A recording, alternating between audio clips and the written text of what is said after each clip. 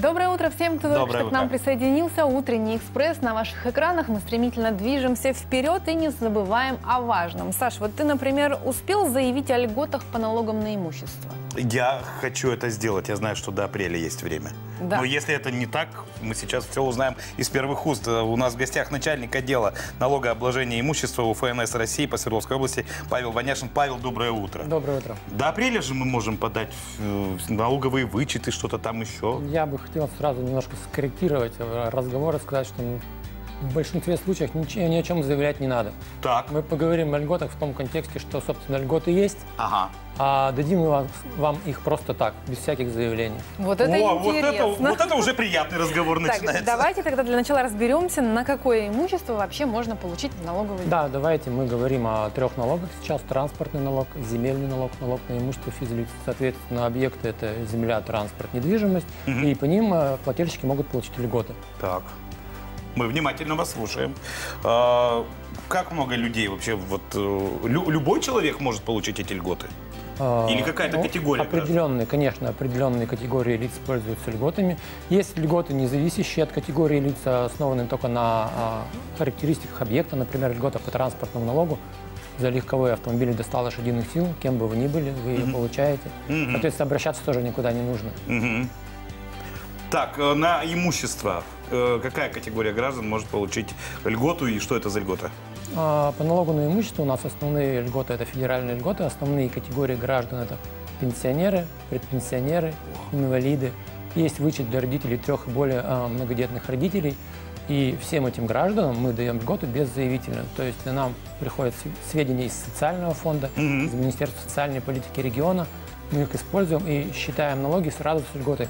Поэтому посыл такой для большинства плательщиков. Если даже у вас есть льгота, Мгм. заявлять о ней не следует. Мы ее дадим сами. Я вот и удивился, что в ноябре мне не пришел э, никакой налог, а ведь я посчитал, что я ведь-то уже предпенсионер, то есть у меня льгота, она э, самообразовалась. Так система работает сейчас. да. Классно! Работает, Павел, я радуюсь этому. Можно оговориться, что все же не стопроцентный охват. Есть Ну. какая-то доля плательщиков, которым все-таки нужно приходить. Это прежде всего индивидуальные предприниматели, применяющие специальные налоговые режимы, у которых используется имущество в, этих, э, в этой деятельности.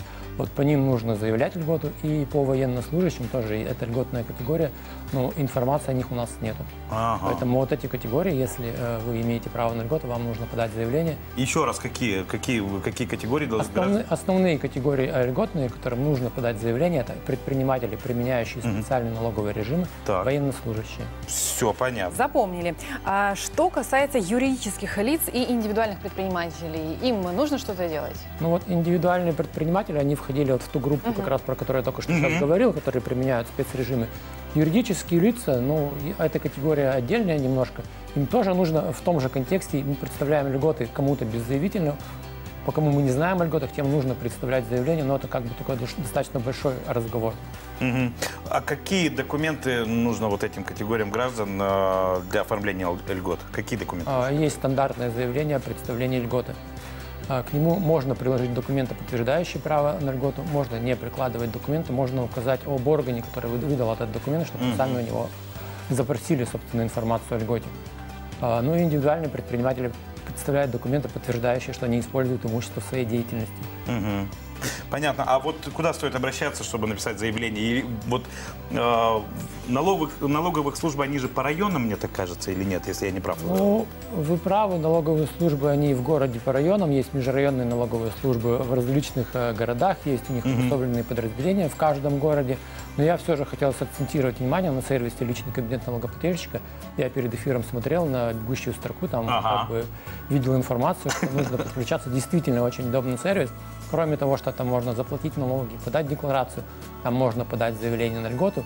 И если, например, вы не поверили моим словам, что мы вам дадим льготу, там можно проверить, собственно, проверить, что у вас есть заявление на льготу. Подключиться к сервису сейчас максимально просто, можно просто с учетной записью госуслуг в него зайти и все. А, То есть, да. пожалуйста, пользуйтесь, проверяйте информацию о льготах. заявляйте о своих льготах с помощью интернет-сервиса личный кабинет налогоплательщика. То есть даже ходить в налоговую не Никуда нужно. ходить не нужно. При желании приходите, пожалуйста. Чаю попить. Спасибо вам большое. Начальник отдела налогообложения имущества УФНС России по Свердловской области Павел Баняшин был у нас в гостях. Мы вам желаем хорошего дня. Спасибо, что этим утром разделили компанию с нами. Спасибо большое. Спасибо.